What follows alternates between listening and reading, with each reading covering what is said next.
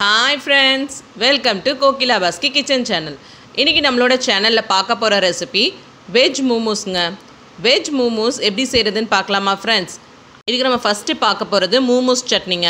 அதை எப்படி பண்ணுறதுன்னு பார்க்கலாமா ஃப்ரெண்ட்ஸ் அதுக்கு அடுப்பு ஆன் பண்ணி பேன் அடுப்பில் வச்சுருக்கேங்க. அதில் ரெண்டு டம்ளர் தண்ணி ஊற்றிக்க போகிறேன்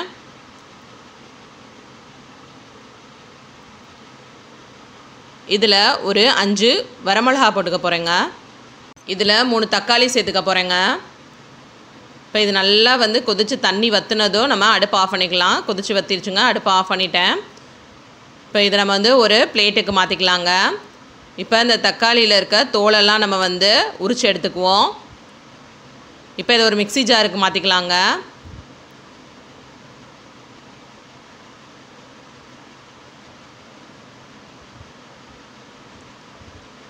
இப்போ இதில் ஒரு மூணு வெள்ளைப்பூண்டு வந்து சேர்த்துக்கலாம். இதில் ஒரு டேபிள் ஸ்பூன் சுகர் சேர்த்துக்கலாங்க. இப்போ இதில் தேவையான அளவு உப்பு சேர்த்துக்கலாம். மிக்ஸி ஜாரை க்ளோஸ் பண்ணி இதை ஃபைன் பேஸ்ட்டாக அரைச்சி எடுத்துக்கலாம். அரைச்சி எடுத்தாச்சுங்க.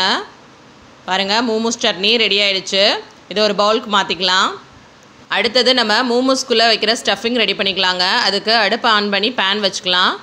இதில் ரெண்டு டேபிள் ஸ்பூன் எண்ணெய் சேர்த்துக்கோங்க.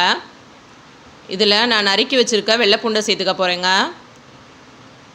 நறுக்கி வச்சுருக்க இஞ்சி துண்டுகளை சேர்த்துக்கலாம். இதை ஒரு கரண்டியை வச்சு நல்லா வதக்கி விட்டுருங்க.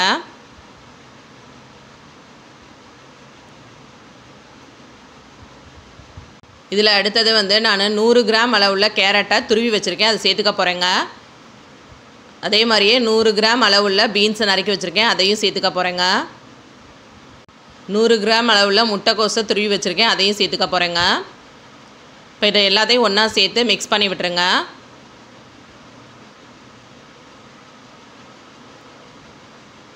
இப்போ இது நல்லா கொஞ்சம் வதங்கிருச்சுங்க. இந்த ஸ்டேஜில் வந்து இதில் வந்து நம்ம ஒரு அரை டேபிள் ஸ்பூன் மிளகுத்தூள் சேர்த்துக்கலாம். அரை டேபிள் ஸ்பூன் உப்பு சேர்த்துக்கலாங்க. இப்போ கரண்டியை வச்சு இதை வந்து நல்லா மிக்ஸ் பண்ணி விட்டுறலாம்.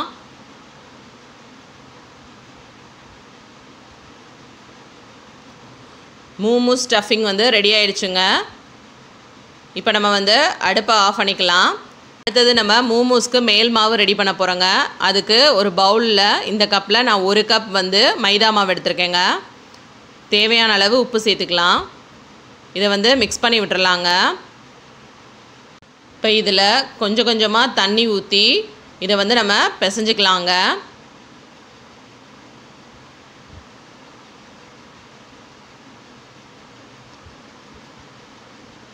இது நல்லா கையில் ஒட்டாத அளவுக்கு நல்லா வந்து பிசைஞ்சு எடுத்துக்கோங்க. மாவை நல்லா பிசைஞ்சுட்டோங்க. இப்போ இது மேலே கொஞ்சமாக எண்ணெய் ஊற்றி இது மேலே தடை விட்டுறலாங்க. அரை மணி நேரம் மாவை ஊற வச்சுக்கலாங்க. இப்போ இதை ஓப்பன் பண்ணி பார்க்கலாம். அரை மணி நேரம் ஆயிடுச்சு. மாவு வந்து நல்லா ஊறிடுச்சுங்க. ஒரு அஞ்சு நிமிஷம் வந்து இதை வந்து பிசைஞ்சுக்கோங்க. இப்போ இதிலேருந்து கொஞ்சம் மாவு எடுத்து உருட்டிக்கலாங்க. பாருங்கள் இந்த அளவுக்கு மாவு எடுத்துக்கோங்க. இப்போ சப்பாத்தி கட்டையில் கொஞ்சமாக மாவை வந்து தேய்ச்சிக்கலாம். இப்போ இதில் நம்ம உருட்டி வச்சுருக்க மாவை வச்சுக்கலாங்க. இதில் கொஞ்சமாக மாவை ஸ்ப்ரெட் பண்ணி விடுங்க. இதை நல்லா ப்ரெஸ் பண்ணி விட்டுருங்க. இப்போ நம்ம சப்பாத்தி கட்டையை வச்சு இப்போ மாவை வந்து நல்லா விரிச்சுக்கலாங்க.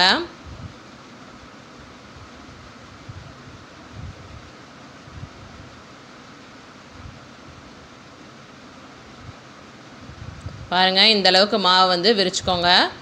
இப்போ இதில் நம்ம செஞ்சு வச்சுருக்க வெஜிடபிள் ஸ்டஃபிங்கை வச்சுக்கலாங்க. இந்த வெஜிடபிள் ஸ்டஃபிங் உள்ளே வச்சதுக்கப்புறம் இப்போ வந்து நம்ம மூமூஸ்க்கு இந்த மாவை எப்படி மடிக்கணுங்கிறத பாருங்கள் நான் மடித்து காமிக்கிறேன். இந்த மாதிரி நீங்களும் மடிச்சுக்கோங்க. கொஞ்சம் கொஞ்சமாக மாவு வந்து இந்த மாதிரி மடிச்சுக்கோங்க.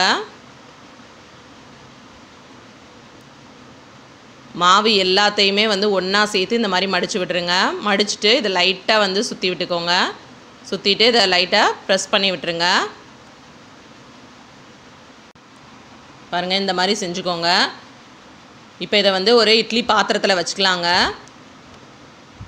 இப்போ இந்த இட்லி பாத்திரத்தில் நான் கொஞ்சமாக வந்து ஆயில் அப்ளை பண்ணிக்க போகிறேன் இதில் செஞ்சு வச்சுருக்க மூமூஸ் எடுத்து வச்சுக்கலாங்க.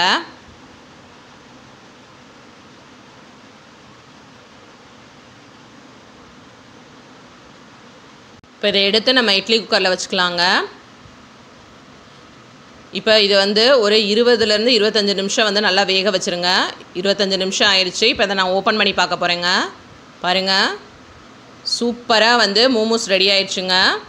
ஒரு பிளேட்டுக்கு மாற்றிக்கலாங்க இந்த மாதிரி நீங்களும் உங்கள் வீட்டில் வெஜ் மோமோஸ் செஞ்சு சாப்பிட்டு பார்த்துட்டு எனக்கு எப்படி இருக்குன்னு கமெண்ட் பண்ணுங்கள் மறக்காமல் என்னோடய சேனலை சப்ஸ்கிரைப் பண்ணிடுங்க பெல் பட்டனை கிளிக் பண்ணுங்கள் அப்போ தான் நான் போகிற வீடியோஸ் எல்லாம் நீங்கள் பார்க்கலாம். Thank you friends